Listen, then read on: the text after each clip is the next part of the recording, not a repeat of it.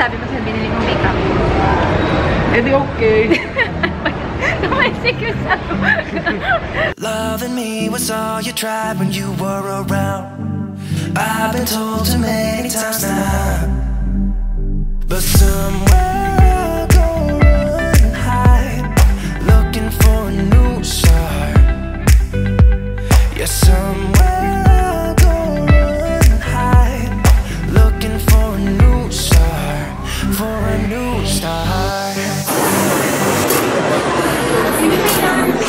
Don't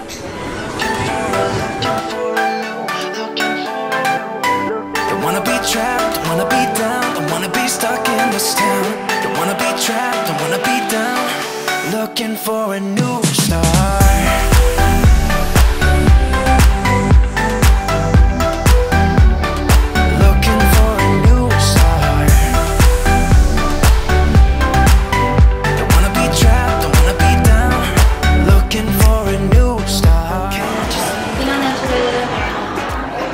Alin? Yun siya yung Alin? blush. to be by myself. I have told you many times now. Yeah, can't you see that I just need to be by myself? I have told you many times now. Ginumis. Ano ba? Ginumis. Pero lasa siyang sago. Ganun may ginumis. Di ba parang... May gata kasi. Ayun, may gata. Coconut? Coconut. Something. Black coconut. Pero sobrang sarap nito. 65 pesos. 65 pesos. Ganda na Henry's tita. Uh, Ate Michelle, mas maganda yung Henry's dito. Bakit ganon? Don't wanna be trapped, don't wanna be down, don't wanna be stuck in this town. Don't wanna be trapped, don't wanna be down. Looking for a new start. Dami na naman yung makeup. Ano masasabi mo sa binili mong makeup? Eh di okay. Yung sabi mo. Testing art set. Yan ang set. With? So, maintaining. Without. O, ba? Oh. Maintaining the glowing skin. Dapat yan nakadikit na sa camera. Nakasabi. Ganyan. Oo, di ba? Ayan na yung pangkamay. Hindi, yan na yun. Lagyan ko kaya ng pandikit. Para ka- kahit anong lakad mo. Kasi ito na yung hawak ko. Don't wanna be trapped, don't wanna be down. Looking for a new start. Can't you see that I just need to be by myself? I have told you many times now. Yeah, can't you see that I just need to be by myself?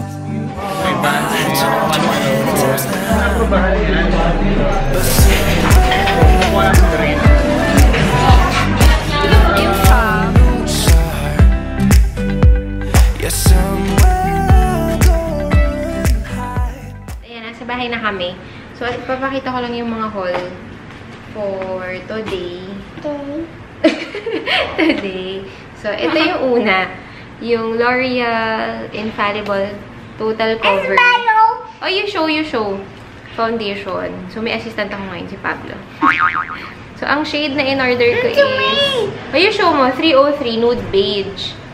So, nag bumase lang ako sa swatches online. So, hindi ko pa siya nasa swatch sa akin. So, yan. Gagawin ko to ng review. Kasi, nakita ko yung reviews niya. Full coverage siya. And then, order ko to sa Shopee. 650 pesos. So, yun. Meron na silang cash on delivery. So, okay siya. So, there. Oh, show mo, show. There. So, nag-register ako for the MAC Technique um, workshop ni Ana Kai. So, para makapag-register ka, kailangan mo bumili ng 5,000 worth of products nila. So, instead of 5,000 worth of products, lumapas-lampas tayo doon, syempre. Dahil ang dami natin nabili. Na-excite. Ayan, oh, so show natin yan. Show, yan. So, ito yung um, pass or ticket for the workshop. So, ito yung mga binili ko sa MAC. So, ayan. So, first item is itong Velux Brow Liner. So, this is the shade brunette. So, ayan. Yes, opo, mine. And then, ayan, ito siya. Show natin ito. So, mat matagal ko na itong ginagamit. So, naubos lang. Restock lang siya ulit. So, ito siya. Meron siyang spoolie. Ayan, meron siyang spoolie. And, yan. Ito yung pencil niya. So, nasa sharpen to. Actually, matagal, matagal to maubos. Next naman is this um, blush. Ang shade, oh, you show mo, show mo. There. Ang shade niya is Blush Baby. So, naghanap kasi ako ng mga natural looking shades. So, ito yung isa sa nakita ko. This is Sheer Tone Blush. This is 1,450 pesos. So, ito siya. And then, next naman is this. Blush din siya.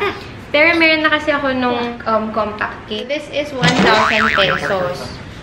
So, ayan. Si Pablo. Nasa playroom na. So, next naman is this. Um, from their new collection, yung Diane Kendall. Spring Summer 2017. So, this is the Cover Me MAC Studio Conceal and Correct Palette. So, this is how it looks. So, this is 2,500 pesos. So, ayan siya. So, there. So, don't worry. Magagawa ko ng separate um, video for the demo and tutorial for the yung mga nabili ko sa MAC. So, ayan. Yung shades niya is light, lightest, light, light, medium, medium, medium, dark, and darkest. So, there. So, very useful to for Actually, pwede rin siyang pang personal, but especially for uh, mga pro makeup artist kasi marami siyang nag ma shades na gamit, I'm sure. And then, next naman is this um, eyeshadow. So, naghahanap kasi ako ng eyeshadow na pwede kong ilagay sa kit and sa mga, yung mga pang-travel lang. Since hindi kasi ako madalas nag-eyeshadow, gusto ko yung um, very neutral lang. So, this is a customizable eyeshadow. So, yung lalagyan is 300 pesos. So, ito siya. So, yung dalawahan na compact. This is 300, eh, sorry, this is 350 pesos. And then, per eyeshadow is 750 pesos. There. So, ang shades. So, this one, yung shade nito, may shimmer siya is Honey Lust. And then the other one is Charcoal Brown, this one. So this is how it looks if you buy the this compact palette na empty. There, ganyan siya. And then, next naman is itong mga liquid lipstick. Liquid MAC lipstick from MAC. Um, dalawa from their Retro Matte collection. And then, the other one is from their Kabuki Magic collection. So, itong from Retro Matte, um, yung shades na kinuha ko is Top with Randy and Somi. So, this is Somi. So, ito yung swatch niya. If you can see. Yan. There. Focus ko siya. There. Yan yung swatch ng Somi. And then, itong top with brandy. Yan. Mas dark itong top with brandy. Mukha siyang pareho. Mas parang mukha siyang pareho sa camera. Pero actually, hindi talaga siya magkapareho. Mas dark yung top with brandy. And then, from the Kabuki Magic collection is, yung shade niya is Sweet Pink. Yan. Ito mas light siya talaga. Ah, retro matte din siya. Pero this is under Kabuki Magic Collection. Okay, sorry. Hindi ko lang siya napansin. Retro matte nga sila lahat. So, yan. Yan yung shade siya, diba? Ang ganda. So, yun. Yun yung mga from MAC. And then, last naman it is ito. Kanina lang din siya dumating. Actually, sabay-sabay sila dumating. Kita ako din. So, ito yung in-order ko from... Nga ba yun? Yes. So, ito yung in-order ko from Hello Gorgeous. Um, this is a local um, homegrown brand. So, yun nga, as I've mentioned before, sa isang vlog ko, gusto ko talaga nagsusupport ng mga homegrown brand, diba? Mas buong gayon. Support local, ika nga nila. So, what I ordered is itong Ultra Glow Serum. Ito siya. So, so yan. Parang siya injection. So, ingredients na is hyal, hyaluronic acid. Tama ba ako? And vitamin C. So, yan. Itong Ultra Glow Serum defies skin from aging, plumping it with moisture. So, it re revitalizes tired skin. Perfect for all-nighters who stay wide awake late. So, ako yun. So, hopefully, gumana siya. Kasi, ayan, nakita niyo naman pag ganitong oras. Anong oras na ba? It's already 10.50. so, di ba? Haggard So, next naman is itong dalawang Velveteen liquid lipstick. Um, yung um, shades niya is Vibes and Faux.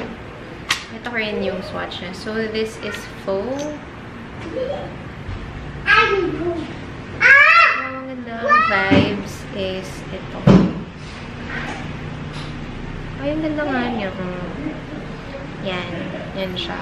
So, gagawin din natin siya ng review and demo soon. And then, next one naman is this lip marker. So, ang kinuha kong shade is Lola. Ayan. Actually, parang siyang lip tint na marker type. So, ayan siya. Manikita niyo. Ayan. Ayan yung shade niya. So, may pagka-purple pink yung shade niya. Ay, last naman is this um, highlighter. So, this is the Rainbow Dash Highlighter and Eyeshadow Compact. So, it can be used as a highlighter and um, pwede rin siyang eyeshadow. So, ganyan siya kaliit. Ayan, you can see. Meron siyang rainbow cherba. So, this is how it looks. Ayan. If you can see, as in, rainbow color siya. So, may pink, brown, yellow, green, blue, violet. Tama ba? Tinan mo yung kulay. So, ayan. So, this is 3,298 pesos. So, ayan siya. So, hindi masyadong kita yung pagka-pastel niya sa camera.